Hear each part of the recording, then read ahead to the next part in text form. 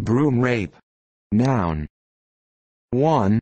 Any of a genus Orobanche of parasitic plants of Europe and Asia.